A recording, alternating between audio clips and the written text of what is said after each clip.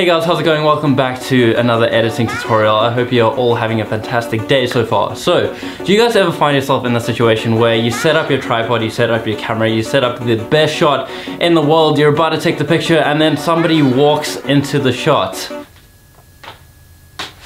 Tourists, man. They're just always in the shot, like not knowing when you're gonna take the picture. And they can be really annoying at times getting in the way of your shots, your landscape pictures, whatever it is, the tourist attraction that you add. So today I'm gonna show you how to do this.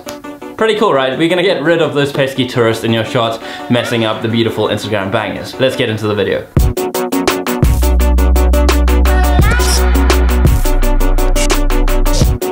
Right, so starting off my tutorial in Lightroom as I usually do, I'm going to start with this really simple picture that I have of Lion's Head in Cape Town, South Africa. A beautiful picture, but we have the seagull that's just flying past the picture. Even though I'm always meant to do that, I'm just going to be using this as an example to show you how to get rid of objects that you might find in your picture. So in this tutorial, I'm going to be showing you three ways to remove objects or people or whatever it is in your photo that you don't want there. The first one is just going to be on Lightroom, and this is going to be really quick and easy if you have something small in the picture. For the second image, I'm going to show you this one of Quinn blocking beautiful Table Mountain. Tourists always getting in the way of this beautiful nature that we have in South Africa. Quinn was actually meant to be in this picture just to give you a bit of background, but for the sake of the tutorial, I'm going to show you how to remove her. But starting out with this picture of the seagull flying across here, what you're going to want to do is go over to your toolbar and at the top right, you'll find the spot removal tool. You can also just press Q on your keyboard, which will be a sh quick shortcut to getting there. So all you're going to want to do is come over to the seagull here, make your brush brush a bit bigger and literally just do one click and then Lightroom should recognize the space around it and replace that with another part of the sky. All you have to do then is hit enter and your picture should be good to go. And there we go, the seagull is pretty much gone. Now that was a really good example to show you how something can be taken out in Lightroom, but Lightroom isn't the best at removing objects out of photos for the most part. That was just a really simple one and as we saw the seagull didn't really have much ongoing around it, so it was really easy to do. But if we have Quinn with a more complicated background over here, here, if we try the same thing and just brush over Quinn, we'll see how Lightroom doesn't really pick up on where it should replace the object.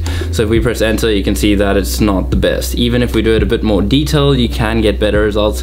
But again, Lightroom just doesn't automatically replace their objects the best as Photoshop does. So in saying that, I'm gonna go over to Photoshop and show you the other two ways to remove subjects from your photos. What you can do as well if you are editing in Lightroom is just right click on the photo, go to edit in and just choose Adobe Photoshop. So once your photo is open in Photoshop, the two ways of doing this is by using the stamp tool and also using the content aware delete tools. First off, I'm just gonna show you the clone stamp tool and that is this tool on the left over here. And then I'm just gonna zoom into my picture so that we have a bit more detail going on here. And basically what this does is replace the image with other pixels within the image. And you choose this other place where it needs to copy the pixels to the place you're trying to replace So in order to do this, you just hold in Alt on your keyboard, select a place in the image that you want to copy from. So I'm just going to choose this space over here and then move over your brush to the subject, maybe just make it a bit bigger so that it brushes over Quinn over here. And as we can see, the crosshair on the right is where the pixels are coming from and you literally just brush over your subject and that replaces it. So nice and quick and easy. Make sure not to go too far over to the left, otherwise we can see how it starts to replace Quinn in the middle of nowhere. I'm just gonna press undo there and do this properly. Maybe just making the brush even smaller. So all you're gonna wanna do is just brush over her, make sure that the object you are replacing matches with the space you are coming from so that it all fits in very cohesively. See if we don't get the lining exactly perfect, the horizon or the space where you're copying can be a bit off and then it's pretty obvious to see that you replace somebody in the picture. So just make sure that you get that bang on. Just a little over from the left and then we do the C over here quick. Now when it gets to the waves here, it's gonna be a bit more complicated. You're gonna have to be a bit more careful with where you replace the waves and just be very intricate with that. So when it gets down to the rock over here where Quinn's feet are starting to interact with the foreground, you're just going to want to be a bit more careful with this and maybe just make the brush size a bit smaller. So just making that smaller, still just brushing from the ocean. You can do that with her left foot as well. Just being really careful with it and we can zoom right into this to be very intricate.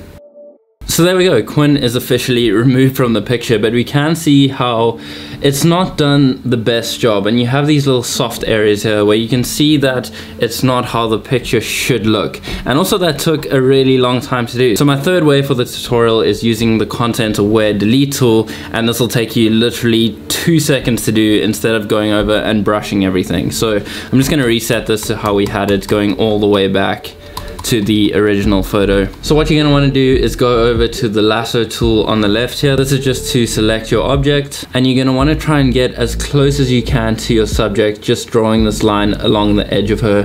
Just go all the way around, follow along the lines and just do that really quickly for the sakes of the tutorial and up all the way back and around and if you just let go that should make the selection for you. And then all you're going to want to do is press shift delete and that'll bring up the full toolbox. And make sure that where it says content you have content aware checked and just press ok. And that's pretty much all. Looking much better than the original. As you can see the rocks are super clear and sharp and it looks pretty much like we took the picture with Art Quinn there. The only problem is the waves over here, but then again, we can just go into the stamp tool and just make slight corrections to that instead of drawing in the whole picture as we did before.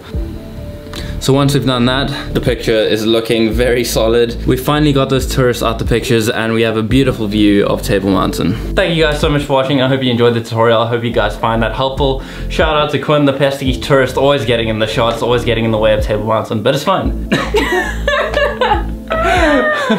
but it's fine. How, how did it feel being removed from the picture? It hurt. It, did the brush hurt you a lot? Yeah, it did. It wasn't very soft. It was like... we removed Quinn hard from that picture. Anyway, shout out to Quinn. Thanks for being in the tutorial. Go check out on Instagram at Q31. But in saying that, I'm gonna wrap up today's video. If you guys did like the video, please leave a like. If you're new to the channel, hit the subscribe button. And in the meantime, stay weird, don't die. Make it happen. Make it happen. Yeah!